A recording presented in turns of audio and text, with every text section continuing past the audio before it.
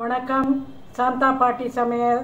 நான் உங்களுக்கு இன்னைக்கு ஒரு புது விதமான கொழக்கட்டை சொல்லித் தரப்போகிறேன் எல்லாரும் பிள்ளையார் கொழக்கட்டை கார கொழக்கட்டை எல்லாம் பண்ணுவான் ஆனால் இது வந்து உப்மா கொழக்கட்டைன்னு பேர் இதுக்கு. இது என்னன்னா திடீர்னு ஒருத்தர் வந்துட்டான்னு வச்சுக்கோங்க. பயப்பட வேணாம் மடமடான்னு பண்ணின்னு ஆற்றுல இருக்கிற சாமானை வச்சு பண்ணிடலாம். ஒரு நாள் பாருங்க நான் புடி கொழக்கட்டை பண்ணி கொரடை அரைச்சி வச்சுருந்தேன். கொரடான்னா நாலு பச்சை மிளகா உப்பு பெருங்காயத்தை மிக்சிலையோ அம்மிலையோ வச்சு நல்லா ஒரு மூணு அரைச்சி வச்சுருந்து துளி தயிரை கலந்து சாப்பிட்டா கொழக்கட்டை உள்ளே போயிடும் போயிடும் எல்லா கொரடாவும் உள்ளே போயிடும். கார சாரமாக இருக்கும் நன்னா இருக்கும் அந்த மாதிரி ஒன்று நான் பண்ணினேன் அந்த மாமி வந்துட்டா. இந்த மாமி இந்த கொழக்கட்டை வாசனை கமகமான்னு வருதேன்னா நல்ல வேலை நான் இருந்தது கொடுத்தேன்னா அதை சாப்பிட்டு பார்த்துட்டு ஐயோ இவ்வளோ நன்னா இருக்கேன்னு எட்டி பார்த்தா ஒன்றுமே இல்லைங்க. சரி நான் வந்து உங்களுக்கு சொல்லித்தரேன் மாமி ஆற்றுல போய் பண்ணிக்கோங்க ரொம்ப சாரி அப்படின்னு. அப்போ தான் நினச்சினேன் சரி இது சில பேருக்கு தெரியாமல் இருக்கே இந்த சிம்பிளான ஒரு கொழக்கட்டையை நம்ம எல்லாருக்கும் சொல்லித்தரலாம் அப்படின்னு இன்னைக்கு நான் உங்களுக்கு சொல்லித்தர போகிறேன் சூப்பர். இதுக்கு என்னென்ன சாமான் வேணும்னு சொல்லிடு பாட்டி.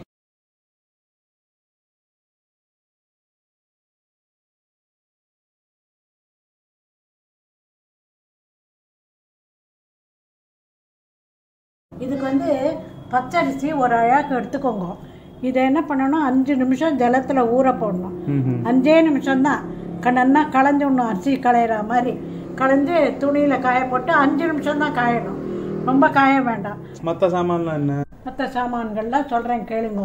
அரிசியோட கூட அரிசி உடைக்கச்ச ஒரு ஸ்பூன் பருப்பு ஒரு ஸ்பூன் மிளகு ஒரு ஸ்பூன் ஜீரகம்.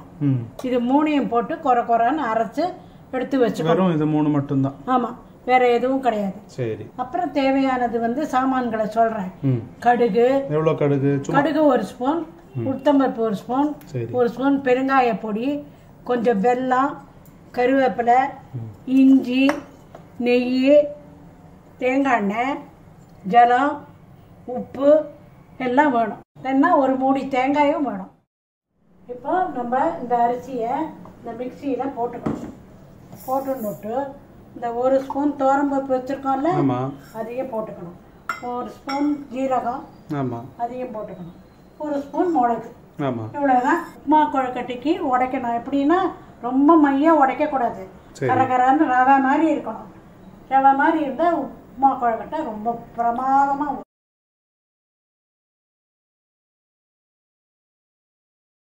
நடுவில் நடுவில் பார்த்துக்கோங்க. ரொம்ப அரைஞ்சு கொடுத்தோம்னா மாவாக போயிடும். பாருங்க. நல்லா இருக்குது இன்னும் கொஞ்சம் அரைக்கணும். கொஞ்சம் அரிசியாக இருக்குது கொஞ்சம் அரைச்சிக்கணும். ஆ நல்ல பதமாக வந்துடுது பார்த்தீங்களா எப்படி இருக்கு பாருங்க ரவை மாதிரி. இந்த பாருங்க ரவை மாதிரி இருக்கு பாருங்க. பார்த்தீங்களா இப்படி இருக்கணும். ரொம்ப மாவாகவும் ஆகக்கூடாது. ரொம்ப அரிசியாகவும் இருக்கக்கூடாது. இப்போ நம்ம வந்து இருப்பை சட்டியை அடுப்பில் வச்சு இந்த தேங்காய் எண்ணெய் வச்சுருக்கேங்க பாருங்க. இந்த தேங்காய் எண்ணெயை விட்டுடணும். எண்ணெய் காஞ்சி போச்சா கடுகு போடணும். கடுகு வெடிக்கணும் நல்லா வெடிக்கணும். போட்டு உளுத்தம்பருப்பையும் போட்டுடணும் உளுத்தம்பருப்பு செவக்கணும். செவக்கச்ச இந்த பெருங்காயத்தை போட்டுடணும்.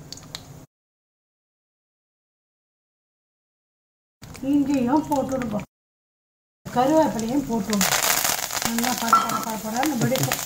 கருவேப்பிலைக்கு ஒரு தனி வாசனை. ஆமாம் ஜலத்தை நல்லா மொல்ல கொட்டுங்க மூஞ்சியிலெல்லாம் சேர்த்து நல்லா கொட்டிட்டு கொஞ்சம் கொதிக்கட்டும். அப்போ என்ன பண்ணணும்? இந்த உப்பு போட்டணும் அது கொதிக்கச்ச தேங்காயும் போட்டுடணும் ஒரு மூடி தேங்காய்.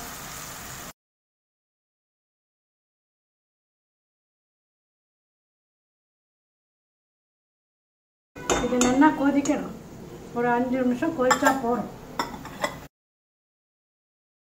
பாரு வெள்ளை வெள்ளையான்னு எப்படி பார்த்தியா சூப்பராக இருக்கு. இதை என்ன பண்ணணும்? சிம் பண்ணிடணும். ம். ஏன்னா அந்த அரிசி உடச்சதை கொட்டுறோம்ல ஆமாம் அது கட்டி முட்டியுமா ஆயிடும். இந்த கட்டி முட்டியுன்ற வார்த்தையை விட மாட்டியா நீ? அது வந்துடும்டா பழக்கத்தோட வந்துடும் நல்லா இருக்கு பாரு. எவ்வளோ கம கமான்னு இப்போவே சாப்பிடலாம் போல இருக்கு.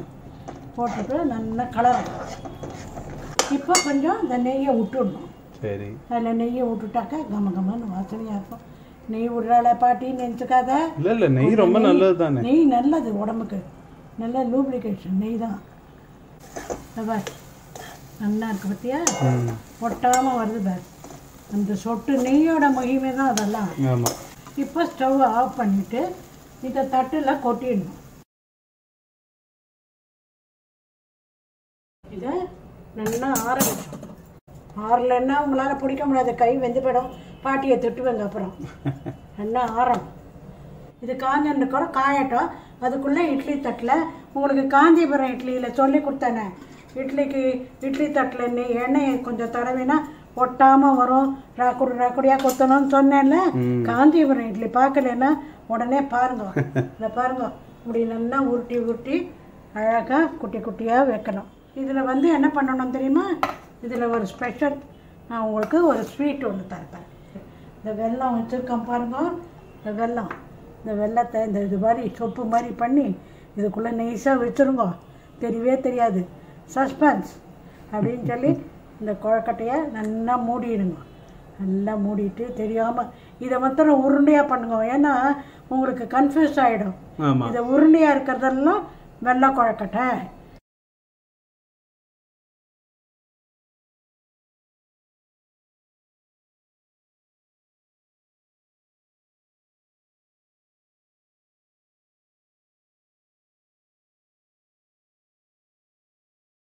பாருங்க எவ்வளோ நல்லா இருக்குன்னு. ஒரு வெள்ளத்தில் ஒரு குழக்கட்டை அப்படியே உள்ள மெல்ட் ஆகியிருக்கும் அதை சாப்பிட்டீங்கன்னா இன்பமாக இருக்கும். இன்னும் சாப்பிட மாட்டோமான்னு இருக்கும்.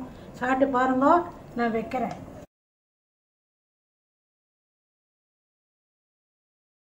ஆன் பண்ணிட்டேன்னா ஒரு பத்து நிமிஷம் கழிச்சு முள்ள மூடியை திறந்து பாருங்க. ஒரு குச்சி எடுத்து குத்தி பாருங்க. வெந்தது தெரியும். இட்லியெல்லாம் பார்ப்பேங்கல்ல அந்த மாதிரி வெந்தது தெரியும். அதை எடுத்து மூடியை எடுத்து வச்சுட்டு கொஞ்ச நேரம் திறந்து வைக்கணும். உடனே கொட்டக்கூடாது கொட கொடன்னு உதிர்ந்து போயிடும். திறந்து பார்க்குறேன் வெந்துட்டான்னு. ஐ நல்லா வெந்து போச்சு. குத்தி பார்ப்போமா? எவ்வளோ நல்லா வந்து வரும். ஒட்டாம. ம். ஒட்டவே இல்லை. இங்கே ஒட்டினா வேகலைன்னு அர்த்தம். ஆவி பறக்க உப்மா உப்புமா வாசனை கம கமன்றது இடு இடு கொரடா அரைப்போமா? இப்போ நம்ம கொரடா வச்சிடறோம் என் மாட்டு பொண்ணுக்கு ரொம்ப பிடிக்கும்.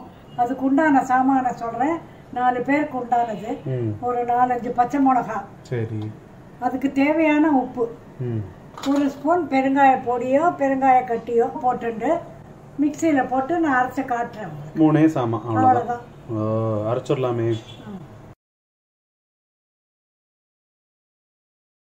பாருங்க நான் அரைச்சி வச்சுருக்கேன். கொஞ்சமாக இருக்குன்னாக்கா உங்களுக்கு வேணும்னா இன்னொரு அஞ்சாறு பச்சை மிளகா அதே நான் சொன்ன அப்படியே டபுள் பண்ணிக்கலாம். அதையே டபுள் பண்ணி அரைச்சி வச்சுக்கோங்க. இதுவே போதும். கொஞ்சம் தயிர் விட்டுன்னு சாப்பிட்டா ரொம்ப நல்லா இருக்கும். இந்த உப்புமா குழக்கட்டையை சாப்பிட்டுட்டு எப்படி இருக்குன்னு ஃபீட்பேக் கொடுங்க. நான் ஆவலுடன் காத்துன்னு இருக்கேன்.